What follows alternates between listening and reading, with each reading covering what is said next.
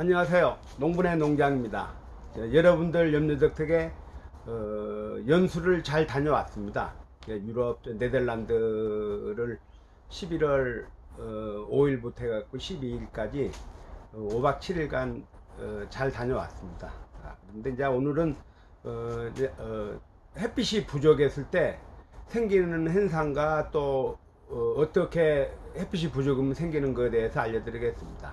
자, 어, 제라늄은 이제 요즘에 11월 달 들어오면은 해가 점점 점점 짧아집니다.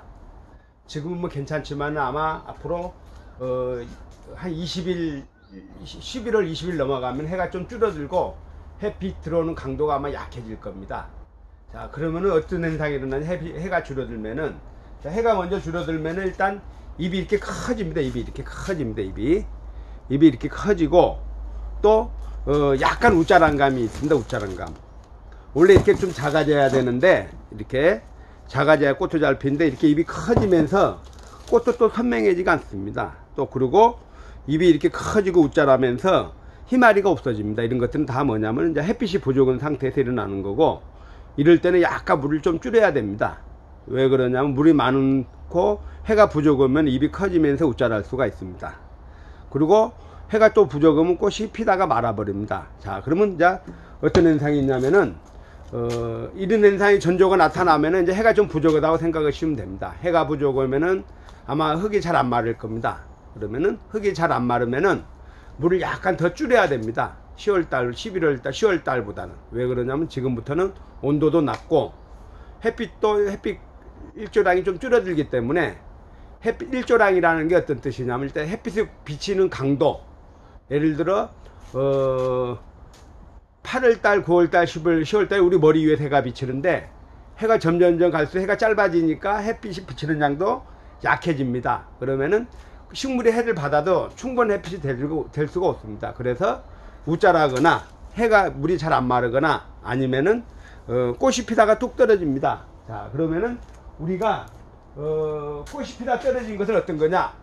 어, 보통 이렇게 홀꽃으로 된 것들은 이렇게 홀꽃으로 된 것들은 해를 조금 받아도 꽃이 잘 핍니다.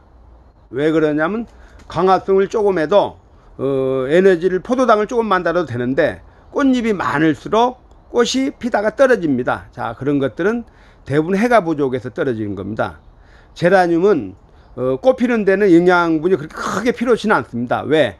새순에서 피기 때문에 새순만 자라면 꽃이 핍니다. 그런데 어, 우리가 홀꽃들은 꽃이 잘 안, 잘 안, 어, 꽃이 잘 피는데 꽃잎이 많은 이렇게 겹겹일수록 꽃잎이 많은 겹일수록 꽃잎이 잘 안 핍니다. 왜? 에너지가 부족하니까. 자, 그래서 여러분들이 이제 제라늄을 키우다가 어, 꽃잎이 꽃이 이렇게 피다가 꽃이 이렇게 피다가 꽃 봉오리가 노랗게 떨어진다. 그런 것들은 대부분 영양소가 부족한 게 아니라 어, 해 일조량이 약해서 그런 겁니다. 일조량이. 햇빛이 좀 강해야 되는데 햇빛이 좀 약하면은 이렇게 꽃몽우리가 지다가 제대로 피지 못하고 꽃이 툭 떨어지는 것들은 대부분 다 햇빛이 약해서 그런 겁니다. 그래서 여러분들이 이제 지금부터 키우다가 보면은 어, 특히 이제 rosebud 스타일 종류들. 자, 어떤 종류들이냐면은 이렇게 꽃잎이 한 30장씩 쪽이 돼 있고 이렇게 이런 것들 이게 꽃잎이 많이 붙어 있고 꽃잎이 꽃잎이 한 30장 정도 되고 이렇게 장미처럼 생긴 것들 이런 식으로 이런 것들 장미처럼 생긴 것들 꽃잎이 이렇게 많고 어, 꽃잎이 한 30장 정도 되고 장미처럼 생긴 것들은 꽃이 피다가 잘 떨어집니다. 이렇게 완전히 이렇게 피야 되는데 자 그래서 여러분들이 어, 이렇게 꽃이 어, 꽃잎이 많은 걸수록 햇빛을 좀 많이 받아 햇빛이라는 햇빛 강도 햇빛 세기를 좀 많이 받아야 되기 때문에 어, 이런 것들은 자 햇빛이 좀 부족하다 그러면 LED 정등이나 아니면 식물 등을 키워주면 꽃이 잘 핍니다. 그런데 어, 꽃이 꽃잎이 떨어지거나 꽃봉오리가 떨어진 것들은 다 빛이 부족해서 그러니까 그런 것들은 식물 등을 키워주는 게 좋습니다. 어, 10월달, 11월, 1월달까지. 자, 그래서 여러분들이 꽃이 어, 이제 햇빛이 부족하면 이런 현상이 되고 이런 것들은 지금 햇빛이 적당한 거 그러니까 꽃이 다 핍니다. 동그랗게 이렇게. 꽃잎이 한 30장 정도 되고 이것은 어, 그, 이것은 뭐냐면 Clatterbridge라는 건데 어, Clatterbridge라는 건데 어, 꽃이 이제 이렇게 일조량도 좋고 어, 환경도 좋으니까 꽃이 이렇게 다 핀 겁니다. 그런데 일조량이 부족하면 꽃 밑에 있는 이게 노랗게 떨어지는 것들은 다 일조량이 부족해서 그런다고 생각하시면 됩니다. 자, 그래서 여러분들이 어, 이제 꽃을 키우다가 어, 요즘 같은 경우 이제 10월, 11월 달에서 12월 달로 접어들 때 이제 동지가 가까우면 해가 더 짧아집니다.